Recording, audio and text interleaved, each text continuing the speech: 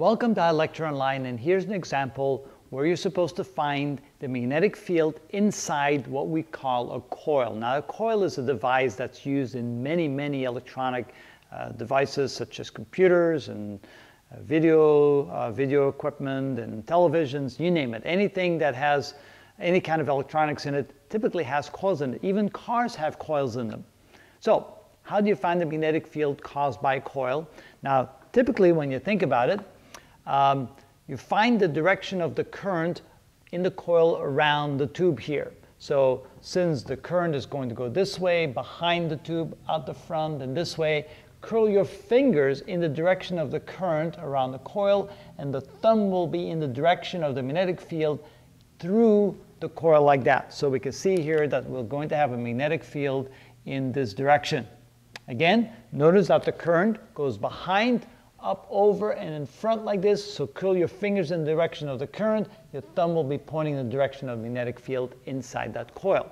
Now to find the magnitude of the coil,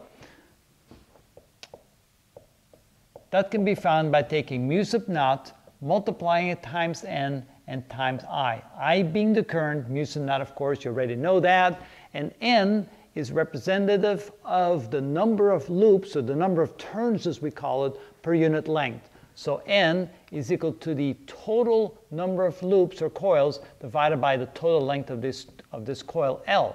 So we can then say that this is equal to mu sub naught times big N over L, big N being the number of turns or of loops, L being the length of the coil, times the current I. So now go ahead and plug in the numbers.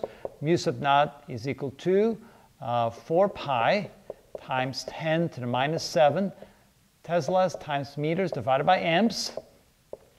Multiply times the total number of loops, which is 400, divided by the length of this, which is 40 centimeters or 0.4 meters.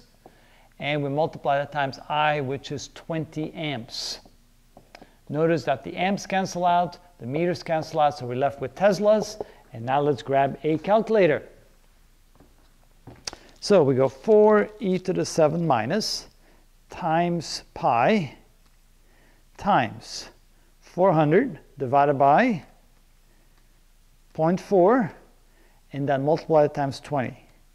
And we got 0 0.025 Teslas. And so that would be the magnitude of the B field. And of course, if you now want to write in a vector quantity, since you know that it's to the right, that's the positive x direction, in this case you could say that the magnetic field B inside the coil is equal to a positive 0.025 Teslas in the x direction.